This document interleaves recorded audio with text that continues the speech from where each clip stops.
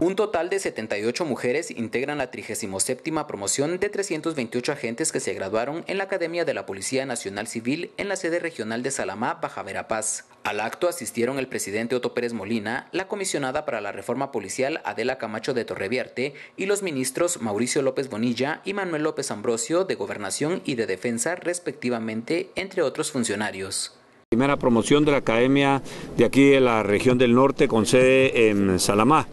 Eh, y me siento muy contento porque esto es un avance sólido que está dando la Policía Nacional Civil con sus cuatro academias en diferentes regiones y que le van a permitir mantener la fuerza policial eh, que ahora eh, alcanza los 35 mil agentes y que es una promesa que nosotros hicimos.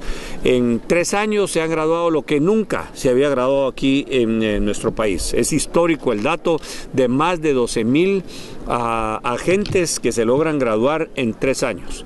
Y esto es gracias al trabajo que ha realizado el ministro de Gobernación con todo su equipo que lo ha acompañado, gracias al trabajo que ha realizado la comisionada presidencial para la reforma policial y los equipos también que han estado detrás cumpliendo con eh, todos estos compromisos para servir de la mejor manera a los guatemaltecos. Con este primer grupo de egresados de la sede regional Baja Verapacense, los elementos policiales suman 34.418.